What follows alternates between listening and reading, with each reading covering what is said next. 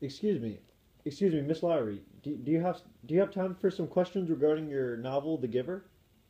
Well, I guess I could take some time to answer a few questions.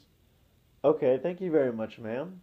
Well, what was your inspiration for a society with no memory? Well, when I first constructed the thought of this novel, I was entranced by the power that memory has in our life. Memory has the power to bring pain, joy, sadness, anger, and a plethora of other emotions. When these memories are removed, society becomes bland and there's no uniqueness to the individual. So, to fully answer your question, memories inspired me to depict a society without them and how it would affect the mechanisms of the society itself. Well, Miss Lowry, what made you realize the power of memory? Well, as my parents grew older, their memory started to leave them.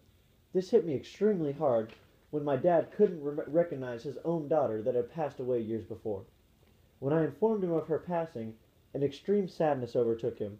This was when I this is when I fully understood the impact that memories had on our perception of reality and how they change our views of the world today.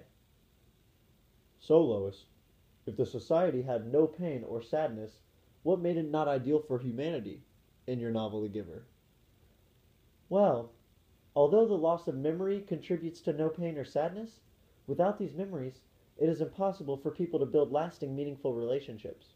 The connections to the past is what brings people together, and when people lose touch of this, there is no place for happiness or any of the good things that memories entail or what they can bring about in your life. Why did you choose for your main character to be a boy of 12, year, 12 years old named Jonas? Well, to answer that, as a mother, I acknowledge the value that adolescents have to society. Jonas was a representation of the uniqueness of, that the individual has in life in general. Jonas was given his name because it is similar to Jonah, a biblical reference. Both of them passed judgment on the way their communities conducted themselves, and they shared that in their similarities.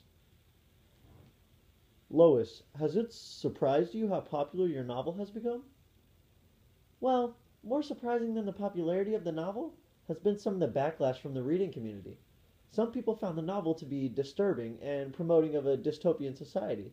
For example, when schools use this novel for a book study, it is usually required for the school to forewarn the parents.